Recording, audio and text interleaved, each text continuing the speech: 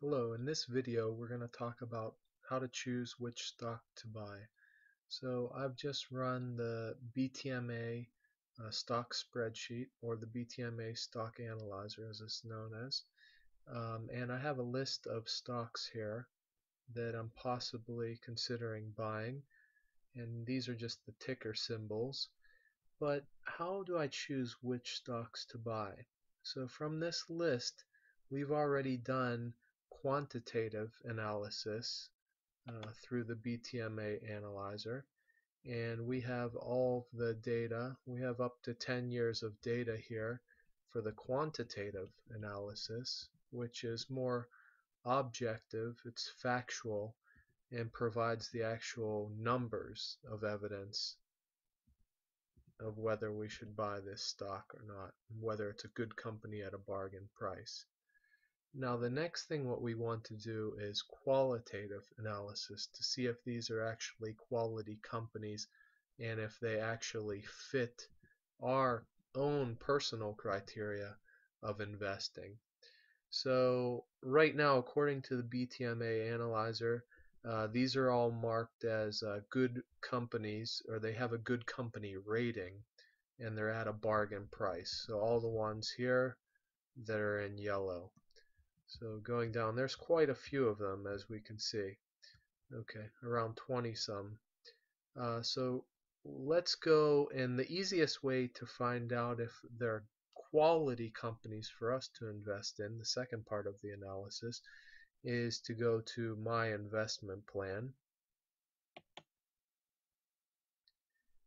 And um, what we want to do is create My Investment Plan. So now that we have the data in here, again, we're going to go to My Investment Plan and then create My Investment Plan. So uh, yes, I would like to continue. And what it's going to do now is it's going to ask me questions about each of these companies to find out if they're good quality companies uh, for me to invest in. Okay, I'm ready to answer them. And first thing that's very important, this is what uh, Warren Buffett always did. He would ask himself these questions, and he always wanted to know of the company, uh, to know what what the company makes, what their business or service is. He wanted to understand the company before he's going to invest in it.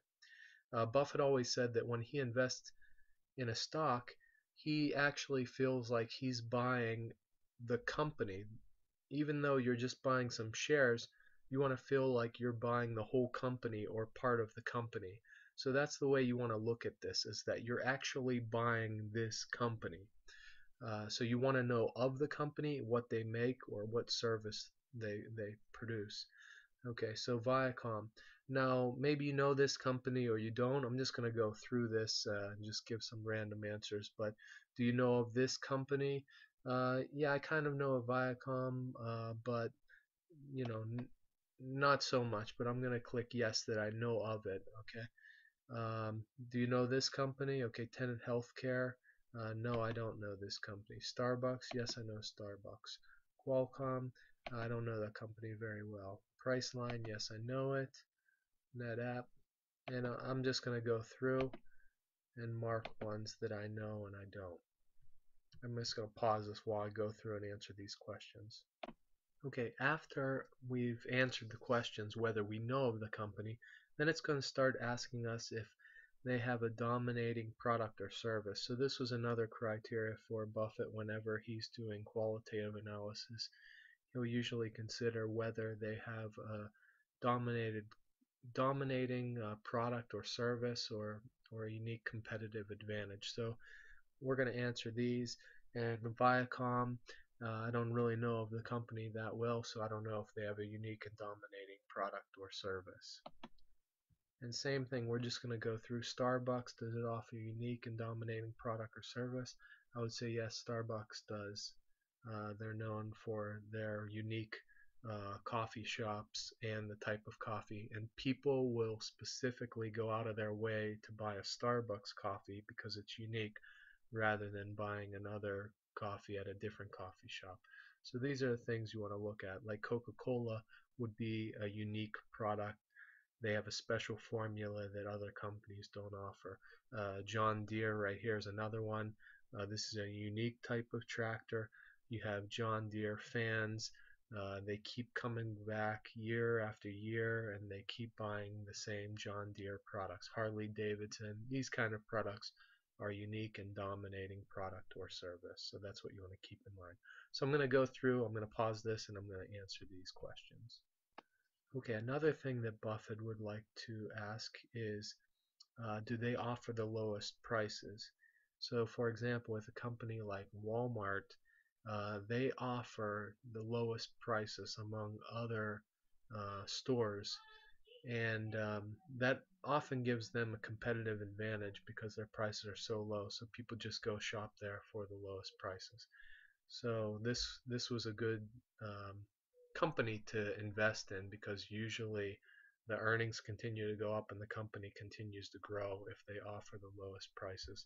And these companies last a long time so Buffett loves these companies that offer the lowest prices compared to competitors so I'm going to go through and answer whether these companies do that Viacom no I don't think they do okay Macy's I don't think they offer the lowest prices okay so I'll pause this and go through these Okay, so after I answered these questions, says congratulations, your investment plan has been successfully created. And these are the companies that is given me that are, you know, they, they're good for me. I know of all of these companies. Uh, many of these are, you know, they're household names. These are good companies that have been around a long time. They're big companies. Um, and people will continue to buy them like I, I've loved Apple computers and products for a long time, so I will continually come back and buy Apple again and again. Okay, uh, people that love Coca-Cola, same thing. So you get a sense of these products and uh, these kind of companies that have unique competitive advantages, and those are the kind of companies you want to buy, especially when they're at bargain prices. Okay, so this should give you a sense of uh, what companies you want to buy. If you want to figure out how many shares uh, that you can buy for the amount of money, then you put it in here. Let's say that I have uh, $5,000 that I want to invest and uh, 5000 that I want to invest in one company, let's say, and the market price per share. So let's say with uh, I'm interested in Coca-Cola, so the market price is 42, uh, 43, and then how much is your brokerage fee per trade? Well, I use Scottrade and it's $7 to buy and $7 to sell. So per trade for the one, it would be $7. Okay, so I hit calculate and this will tell me how much I can afford to buy here. So if I bought one share of Coca-Cola at the price, which was 42.43, then I would need to make 33% total return to recover my brokerage fee cost, my $7 brokerage fee cost. So really you see it's not even worth for me to buy one share of this. If I bought 59 shares, then I'd only have to make 0.56% to recover my uh, brokerage fee cost was the seven dollars. Actually, it'd be seven to buy and seven to sell, so fourteen dollars total. Uh, and if I bought the maximum 117 shares, then I would only need to make 0.28 to recover my fees. Okay, so going back to my stocks over here, and uh, the stocks that I was interested in buying. The other thing that I like to do is I like to look up a two-year um, chart and usually on Yahoo or Google Finance uh, I can look up a two-year chart to see how the stock price has been affected. So I'm just going to look up the stock chart for two years for uh, Coca-Cola Enterprises, uh, Apple, John Deere, and maybe Fossil here. So let's go ahead and look up um, Coca-Cola Enterprises and bring up my browser here. So to do this, you could just look up in Google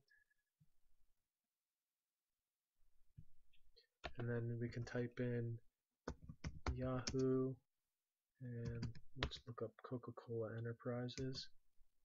Just put in the ticker. And you click here. Okay, so this brings up Coca-Cola Enterprises. You can see the price. Uh, you can see previous close, the day's range, 52 week range, the volume of stocks that trade, the shares to trade, the average volume over three months of shares to trade. And all this information, I don't want to bore the people that are experienced with stock investing already. Uh, if you're not, if you're not sure what these terms are, then I recommend looking up on uh, Investopedia. That's a good website to find out the individual meanings of different stock terms, and it'll really help you out with that information. Okay, so let's move on. We're going to look at the two-year chart, which I like to look at to give me a, a broader idea of what's happening with the stock price. Okay, so here we're looking at the two-year stock price of Coca-Cola Enterprises.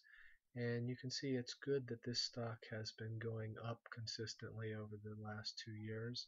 Uh, recently it had a little dip, but no big problems and uh, it's near its 52 week low. Uh, so here's the one year mark and it's near the 52 week low so that might be a good time to get in on Coca-Cola Enterprises. If we look at another one, Apple,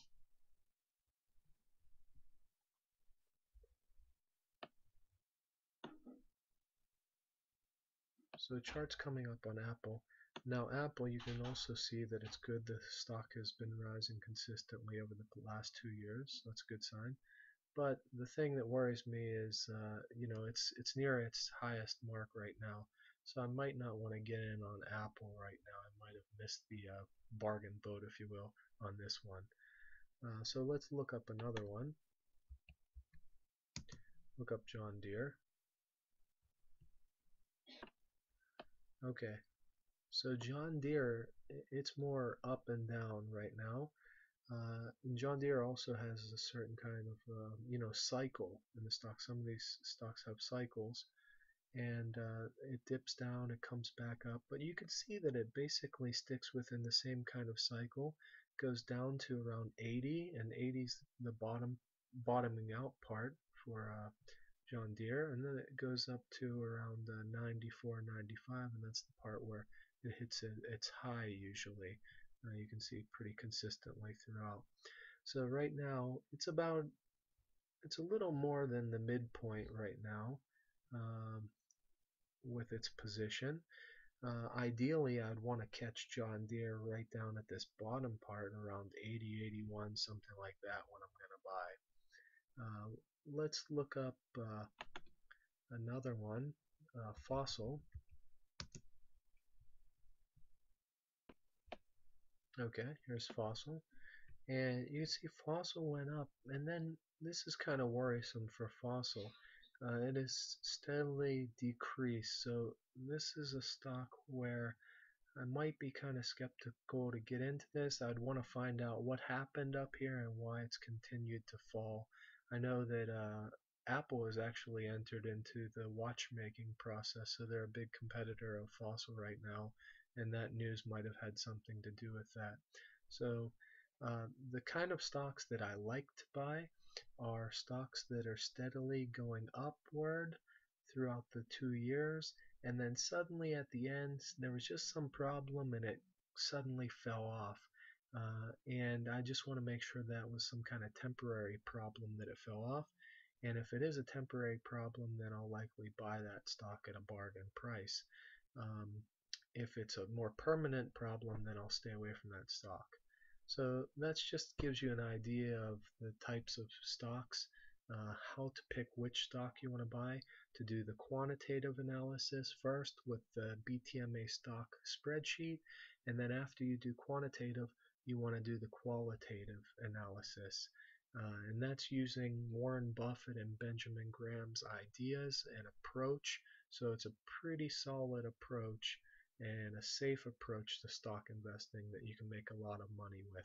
So I hope this video has been helpful for you and have a great day.